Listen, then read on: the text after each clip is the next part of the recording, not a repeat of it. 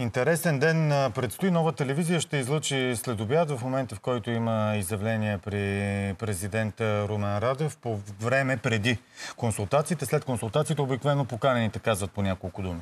15 часа и 17 часа. Това са часовете, в които в президентството чакат гости на консултации, не на, на кафе. Не на папка. С какво междувременно ще се занимават депутатите днес? Всъщност заседанието би трябвало да е започнало 9.10 и Евелина Николова е в Народното събрание. Добро утро! Добро утро! Добро утро, колеги. Да, за да се стигне до тази процедура днес на Дондуков 2, а именно консултации при президента с парламентарните групи, беше важен вчерашния ден, в който народните представители избраха председател на парламента и това е Росен Желясков. Изборът му беше очакван, тъй като между първите две коалиции имаше редица преговори и се стигна до консенсус да бъде избран председател, за да може да започне да се работи и по законодателната програма, която изготвиха ГЕРБ СДС и продължаваме промяната Демократична България. 136 гласа получи Росен Желясков за. Именно от групите на ГЕРБ СДС продължаваме промяната Демократична България и има такъв народ. А в днешния ден заседанието започна точно в 9 от председателя Росен Желясков беше ударен първия звънец. Също така вече е факт и първото решение в днешния ден. След подадена оставка на Лена Бориславова, гласувалите за оставката и с 180 81, а против 40.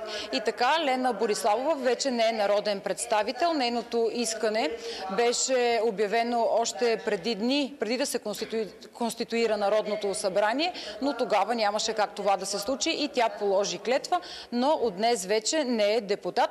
Днес в парламента предстои народните представители да изготвят временна комисия за промени в правилника им на работа.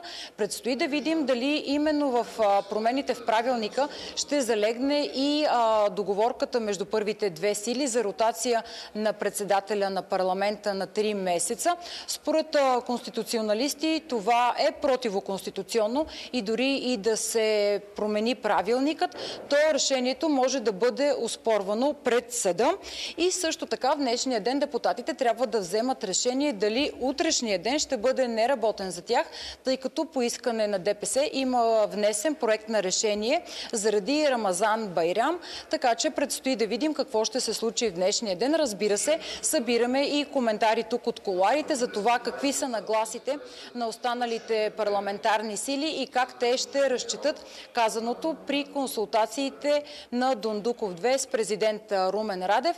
Очаква се да се проведат консултации с всички парламентарни групи, които са 6 в това 49-то Народно събрание и чак тогава да се пристъпи към връчването на първия мандат, което не е изключено да се случи още следващата седмица. Кажи с едно изречение, имате ли информация за готвена среща, официална или неофициална, между първия и втория днес? Продължават ли срещите или не знаеш? Няма обявено кога ще се случат тези лидерски срещи, но има направена такава заявка.